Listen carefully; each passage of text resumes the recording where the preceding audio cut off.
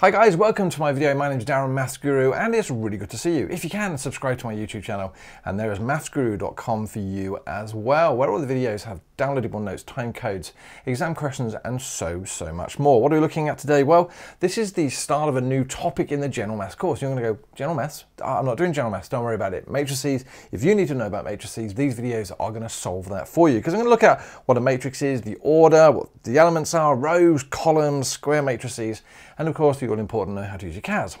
What's a CAS? It's a computer assisted software calculator. I don't actually know, it's a calculator. Leave it at that and let's just move on. Now, recap of past learning. Yes, matrices, I still don't understand what that movie is all about. I've watched them, all three of them. No idea whatsoever. You understand? And let me know in a comment below. In fact, if you're on YouTube, leave me a comment, let me know how it's going and head over to Guru. Remember, download these notes now. You can write all over them. Makes life so, so much easier for you. Now obviously matrices are quite important in this course. We do the foundation now. If you're going to do further maths, that becomes much, much bigger. Smash this now, you'll be sorted. But matrices basically has something that has like rows and columns. And my advice to you is if you think about it like cinema seating, where you have rows and seat numbers, you won't be too far wrong. But let's go into this. Here is, ladies and gentlemen, a matrix. Now, all matrices generally have a name, okay? And it's a capital letter. So it's important that we know that it's a capital letter. There's my capital A, and it stands for something. We'll get into what it stands for a little bit later on, but all you got to realize is there's square brackets, and then there's a number of numbers inside, and each of those numbers are organized in a row and a column job done. They can be 0, 1, negative numbers, decimal numbers, doesn't actually matter, but they are filled with numbers, sometimes letters, but numbers is what we're used to. Now, each of these numbers is called an element, right? So as I say here, this number 7 here is an element. That number 2 is an element. That number 0 is an element. So that particular matrix has nine elements. And believe it or not, elements have addresses. Yes, not like, I don't know, a postal address like we have here, but we'll come back to that now. So the elements of a matrix have to be defined some way, and it actually makes life a lot, lot easier for multiplication a little bit later on. So here we have a capital A.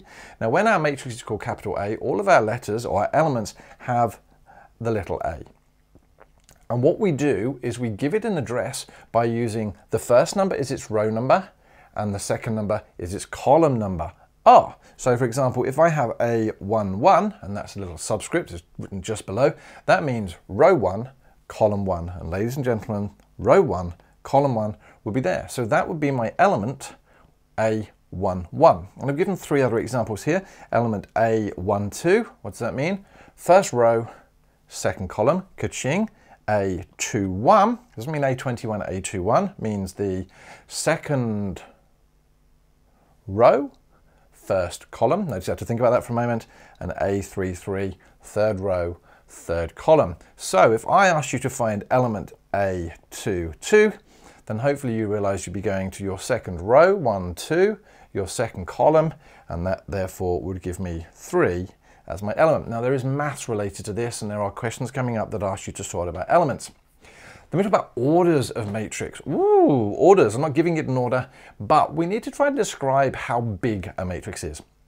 And that's very much what we use order for, to describe how big it is. And the way, again, we describe it is row followed by column. Notice it's always RC. Now, I always joke because it's like after I wake up in the morning feeling a bit RC. Awkward. Okay, but the point of it is we talk about matrices as the number of rows followed by the number of columns. Now, we could, for example, call this one here a 3 by 3 matrix, right? So 3 with a kissy kissy 3 is a 3 by 3. 3 rows by 3 columns. Or we could write the words 3 by 3. Or I've seen it 3 by 3 as well. Either way, just remember that that's rows followed by columns. There's a couple of other examples here. So we've got matrix B, for example, is how many rows? One, two, three. By how many columns? Two, right? So that's given by a three by two, three by two. And again, one by three, let's just check is that right? One row by three columns, ka-ching.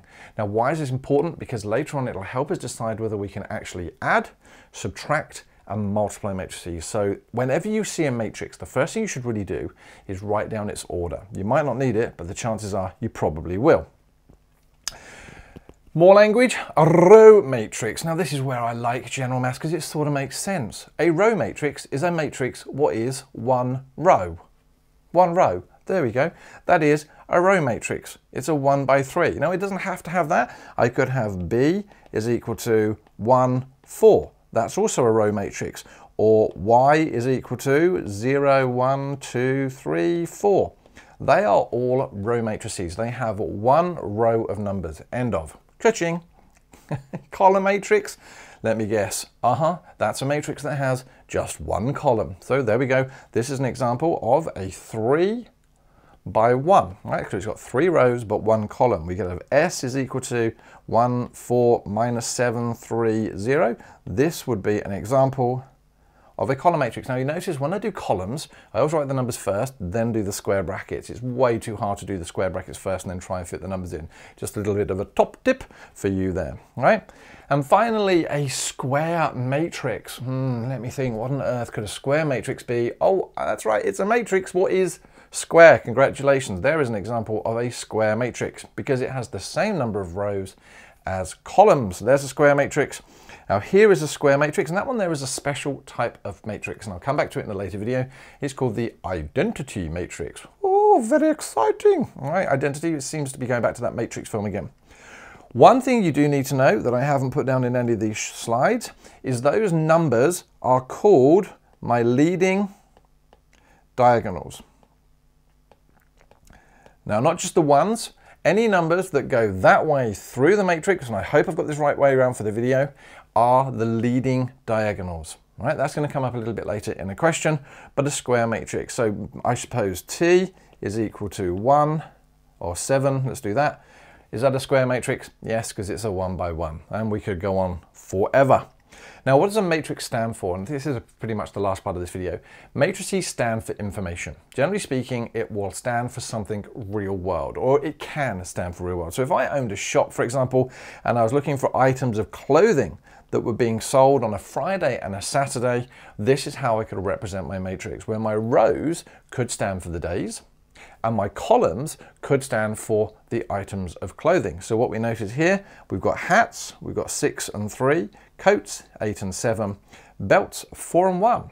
So let me see, what does this number six here mean? Well, it means I sold six hats on Friday. Ka-ching, notice, and that there would have an element of C11. Remember, first row, first column, ka-ching. Sometimes people actually number them to help them work out a little bit later on, okay? But the question is how many coats were sold on a Saturday? Coats on a Saturday would be seven. And what element would that be? That element there would be C, row two, column two. So it would be C and two, two. Here's an example from the Cambridge General Maths textbook. Thank you very much, Cambridge, for letting me use your videos. You guys rock. Phenomenal resource, if I do say so myself. So here's an example. Matrix B shows the number of boys and girls in years 10 to 12 at a particular school. A. What is the order of matrix B? There you go. C is asking for the order. Do you remember what it is? The order is the size of the matrix. So it's rows, one, two, three, by two columns. So I could write a three by two. That would be perfectly acceptable for my answer for part A. Part B, what information is given by element B, 1, 2? So we're looking for B, 1, 2. Let me see, so B, ah, there's B, so we want row 1, column 2. There are 63 girls in year 10. Ka-ching! Uh, which element gives the number of girls in year 12? So I want girls in year 12. That's that number there, 45. So it's row 1, 2, 3 by 2. So we would be doing B, 3, 2. Yes, because it's the third row, second column. Wow. Part D, how many boys are there in total? Well, how would we do that? Well, my boys in total would be all of those numbers in the boys column added together. So we would do 57 plus 48 plus 39, which equals 144. How many students are there in year 11? Again, if I want students in year 11, find the two numbers that are in the year 11 row. So that would be 48 plus 54, which would give me 102. Now, obviously this is a CAS course, and so it's important to know how to use your CAS. I am using the TI Nspire. Change of school, guys. Sorry if you were following the class pad and I changed mid. Life is difficult. Okay, so we can use the CAS to enter matrices. Long story short, when you have the TI Nspire, there's that little book icon that you can load up. And my advice is to use that icon there, all right? Now, there are some predefined ones already set up for you. So if you wanted a two by two or a one by two or a two by one, then you can hit those. And a lot of the matrices we ever use will be those. But on the whole, you'll use the button that says, choose me, choose me. All right, so you'll probably want to do that one. When you do that, what happens? Up comes a screen that says, create a matrix. And it'll ask you how many rows do you want and how many columns. And in this situation, I wanted three rows and two columns, which is in that screenshot. And then out comes this template. And we know what a template is. If you use the TI Nspire, you're now just going to fill in the numbers. And lo and behold, what do we get? 57, 63, 48, 50, 54, 39, and 45. And you just type the numbers in. Now, when I hit enter, that's fine because what the calculator then does is say, well, okay, thanks very much. There's your matrix. But what if we want to do something with it? I don't want to keep typing in these matrices over and over and over again. It becomes tedious. What we can actually do is we can use our store. All right, so that's the blue and var button, and I think up the top it says something like STO with an arrow. Now basically we can store matrices, equations, we can store all sorts of things in a variable. And what you can see here is I've done exactly that. I've taken the matrix, and entered it in, and then I've done store, which has given me the little arrow, and then using the keypad, I've just gone, well, A. And what that's done is, well, you think, well, hold on a moment, that hasn't seemingly done anything different, it's just repeated the matrix. Well, that's good. If it repeats the matrix, it means it has stored it. Thank you very much. What do we do now? Well, I just then hit the letter A and hit enter to see what happened, and out came my matrix. Catching, thank you very much. Now, why would this be helpful to us? As I say, this is rushing ahead a little bit, but what if I wanted to double all the values inside that matrix? Well, having already defined it as A and my calculator's got it in, then funnily enough, all I need to do is do 2A and hit the enter key and out comes that matrix with all of those numbers doubled. Now it's a little bit ahead of a game, that's coming in the video, but entering and using the store is gonna make your life a lot, lot easier. What about if I want to get an element from my matrix? It does it as well using the square bracket notation. So because we've already defined my matrix as A, if I then do A square bracket 2 comma 2, now obviously in this situation, because the calculator doesn't understand 22 and you may have a matrix with 22 rows, then what we're going to do is put a comma. So the row, comma, and then the column. Yeah, so R column C, and what comes out was 54. And is that correct from my A, row 2, 2? There we go. Now, obviously, I wanted it for A, not 2A. Interesting. I wonder what would happen if I did 2A. 2 comma 2. Well, I'll leave that to you to have a look. And that's pretty much the end of this video. Thank you very much, guys, for watching. There's a little bit more still to come. Don't stop yet, but uh, hopefully I'll see you in another video. Take care.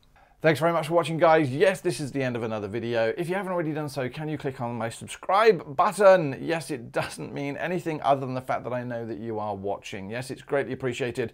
Otherwise, I feel like I'm sitting here just talking to myself. And then, yes, there is maffsguru.com, of which you can see a still of now. And what is over there? Well, all the videos ordered by textbook, ordered by topic. You can search for the videos. You can download notes time codes, exam questions, and so, so much more coming up. Yeah, it's absolutely free to join. So I'm done. Thank you very much. I hope to see you in another video. Give me a shout out to your mates if you can. I just want to make sure that everyone finds maths interesting and easy. All right, take care, guys. See you again. Bye-bye. Stay safe.